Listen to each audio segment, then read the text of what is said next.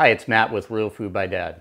I think most of us will agree that homemade soup is always great, but like most of you, I don't always have the time to make it. So today I'm partnering with Progresso to show you how to make a semi-homemade chicken soup that your friends and family will love. So let's start with Progresso's traditional chicken and wild rice soup. What I really love about this Progresso soup is the fact that it's 100% white chicken breast meat that's antibiotic and hormone free. This is one of those dishes that really brings me back to my childhood.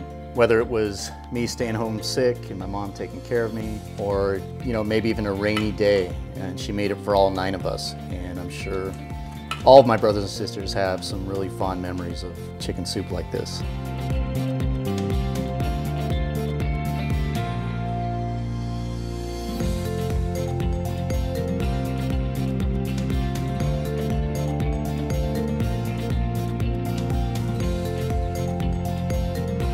So now as a dad, I love putting my own spin on recipes. With this, I put on Munster cheese as well as chives. If you don't have Munster, go ahead and put cheddar on there. We've done that in the past and it works out just as well. And the kids absolutely love it both ways.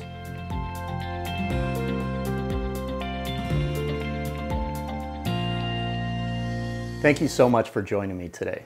I hope you enjoyed this chicken and biscuit meal it's a family favorite and I hope it becomes one of yours as well. And it's always made better with Progresso's chicken and wild rice soup.